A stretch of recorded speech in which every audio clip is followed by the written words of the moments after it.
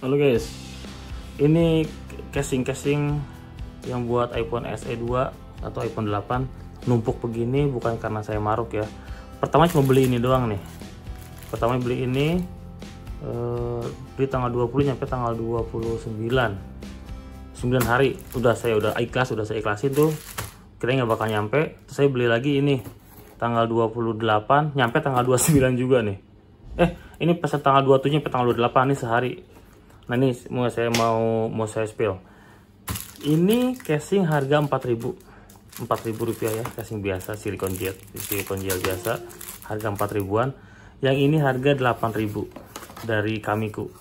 Tapi lihat 8000 nya Kamiku gile harganya kayak begini loh. Udah kayak silikon case nya yang ada di iBook cuma 8000 ini.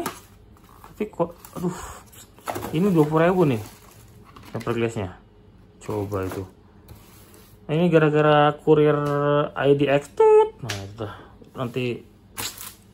Ini ceritanya tuh gini. Saya pesan tanggal 20 eh, terus dikirim. Nah si kurir itu si kurir tiba-tiba tanggal 26 iya tanggal 26 WhatsApp saya dia bilang e, seperti ini WhatsApp ini. E, barang dikirim besok ya Pak? Kata dia gitu. Eh iya barang dikirim besok ya Pak. Terus tiba-tiba di Shopee-nya itu barang sudah selesai sudah diterima oleh bersangkutan. Terus ada foto-foto nggak jelas. Saya bilang perasaan nggak terima barang saya tanya security nggak ada yang terima juga barang ini tuh. Barang yang kayak gitu nggak ada juga nih. Terus saya chat saya chat si kurirnya nggak balas-balas. Sehari nggak balas dua hari eh semalam baru balas baru dikirim. Somplak nih gara-gara dia jadi banyak kesing saya nih. Ya paling gitu aja ceritanya guys.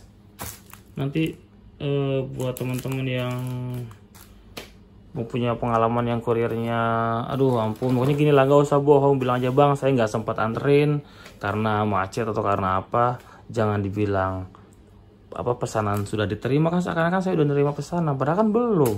Ini pesanan eh, pesanan tuh harganya nggak salah berapa? Cuma 30 ribuan palingnya ini tuh. Ya itulah guys. Sekian curhat hari ini. Nanti kita review casing yang the best ini guys oke okay? dadah